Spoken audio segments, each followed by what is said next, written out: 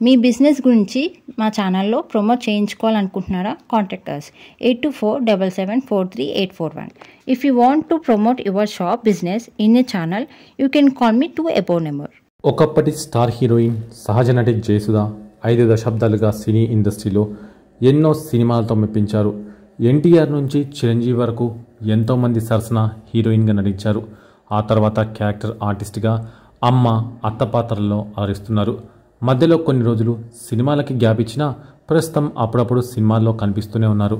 ఇటీవల ఆమె సినీ పరిశ్రమకు వచ్చి ఐదు దశాబ్దాలు పూర్తి చేసుకుంది. నటిగానే కాక నిర్మాతగా రాజకీయ నాయకురాలుగా కూడా రాణించారు. జయసుధ సినిమాల్లోకి ఎంట్రీ ఇచ్చి యాభై ఏళ్ళు పూర్తయిన సందర్భంగా ఇటీవల ఓ ఇంటర్వ్యూ ఇచ్చింది. ఈ ఇంటర్వ్యూలో పలు సంచలన వ్యాఖ్యలు చేసింది.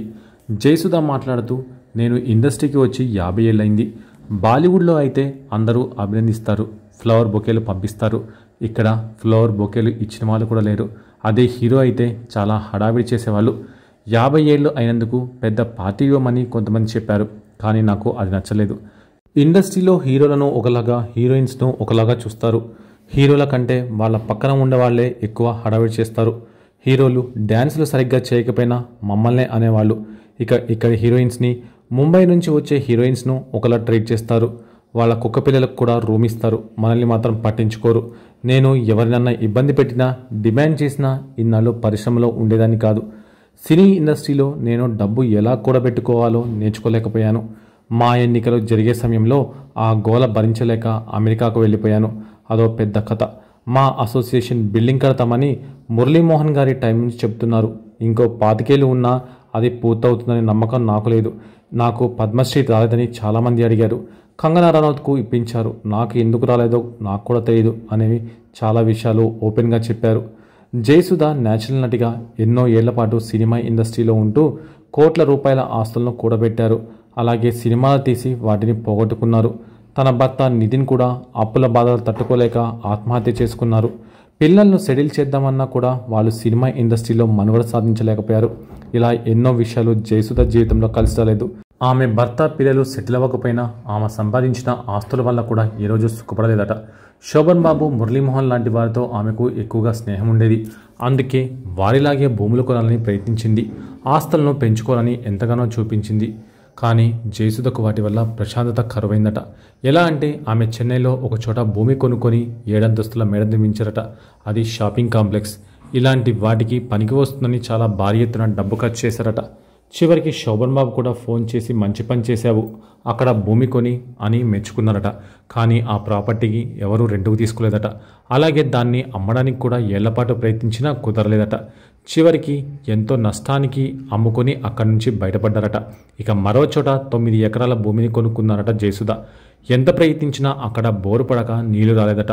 నీళ్ళు లేని చోట మనుగడ ఎలా ఉంటుంది చెప్పండి? అందుకే ఆ భూమిని కూడా అమ్మేసుకున్నారట. అది కూడా తక్కువ రేటుకు అమ్మేశారట. ఇప్పుడు ప్రస్తుతం దానికి కాంపౌండ్ వాల్ ఆనుకొని రజనీకాంత్ నివాసం ఉంటున్న ఇల్లు ఉందట.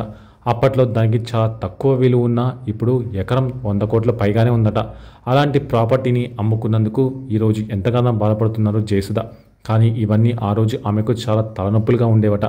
అందుకే ఆమెకున్న ఆస్తులు కూడా ఏ రోజు తనకు ప్రశాంతత ఇవ్వలేదంటున్నారు జయసుధ. ఇక కొద్ది రోజుల క్రితం జయసుధ భర్త నితిన్ ఆత్మహత్య చేసుకున్నాడు. దానిపై అనేక ప్రచారాలు సాగాయి. ఈ క్రమంలో తన భర్త ఆత్మహత్య చేసుకోవడానికి తాను కారణం కాదని చెప్పారు జయసుధ. అయితే సినిమా వాళ్ళ గురించి ఇష్టం వచ్చినట్లుగా రాస్తారు. అసలు నిజమేంటో తెలుసుకోరు. తమకు అప్పులే లేవు. అప్పులు లేనప్పుడు వాటిని తీర్చలేక ఎలా చనిపోతాడని అన్నారు. నితిన్ సోదరుడు నితిన్ బంధువుల్లో ఇద్దరు లేడీస్ ఆత్మహత్య చేసుకున్నట్లు జయసుధ తెలిపారు. నితిన్ కూడా అలాగే ఆత్మహత్య చేసుకుంటాడని భయపడినట్లు పేర్కొన్నారు. నితిన్ అలా జరగకూడదని చాలా ప్రయత్నించినట్లు చెప్పారు. తాను తన అత్తగారు నితిన్ ఆత్మహత్య చేసుకోకుండా ఆపడానికి ప్రయత్నించినట్లు వివరించారు. అయినప్పటికీ నితిన్ కాపాడుకోలేకపోయామని జయసుధ విచారం వ్యక్తం చేశారు. తమ భవిష్యత్ తరాలకు ఇలాంటి పరిస్థితి రావద్దని కోరుకుంటున్నట్లు చెప్పారు. నితిన్ చనిపోయిన తర్వాత చాలా బాధపడినట్లు తెలిపారు. అప్పుడు తనకు తన కుటుంబం మద్దతు ఇచ్చినట్లు జయసుధ వివరించారు. నితిన్ నిర్మాతగా పలు సినిమాలు నిర్మించారు.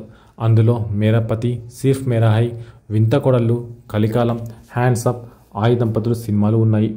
ఇక జయసుధ మొదటి భర్తతో విభేదాల వలన విడిపోయాక Bollywood hero Jitendra Kapoor cousin అయిన నితిన్ కపూర్ను రెండో పెళ్ళి చేసుకుంది.